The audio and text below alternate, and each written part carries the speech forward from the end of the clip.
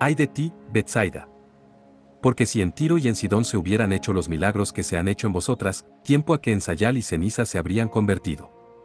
Por eso os digo que el día del juicio habrá menos rigor para Tiro y Sidón que para vosotras. Y tú, Cafarnaúm, hasta el cielo te vas a encumbrar.